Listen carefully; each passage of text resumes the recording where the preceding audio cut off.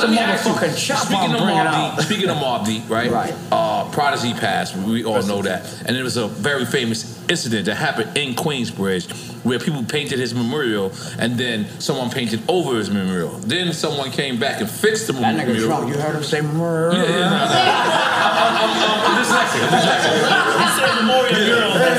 Memorial mural. Memorial mural. And then someone came back I'll give you a pass. and disrespected the memorial again. And what was your what was your thoughts when you heard that? What was my thoughts when I heard that? See, sometimes you talk about motherfuckers, you need to keep your mouth shut. Mm. I give them props, I give them more, you know what I'm saying? But sometimes, nigga, you can't be talking about motherfuckers and then still be trying to, uh. Now they gonna put your mural up in the in, in the hood, right? Where you done did dirt to niggas. You ain't even really from here. Mm-hmm. And this is what I always tell niggas. Yeah, Prodigy hung out in Queensbridge, but he's not from Queensbridge. Mm-hmm. Love him for representing all that shit, mm-hmm. but in the end of the day, it's like he was Havoc Man. Only Right. reason why he was able to come to Queensbridge because he was Havoc Man. Right. You know what I'm saying? You Right. be talking about nigga. I see the nigga say, yo, if you want to do some dirt, you go to Queensbridge. That was a good impersonation. I don't think so. Look at I I think you're right on point.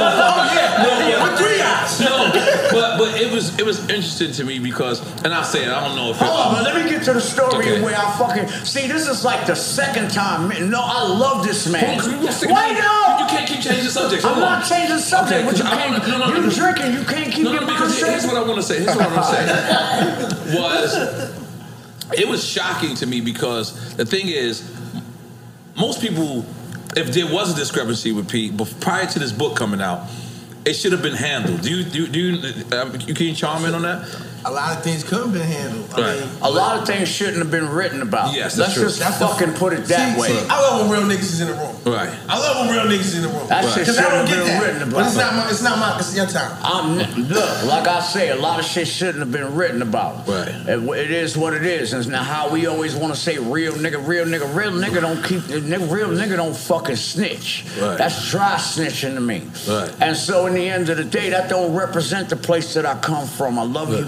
P, and all that shit. But Right. nigga, you done did a lot of dirt. And now I'm gonna tell you about this motherfucker right here.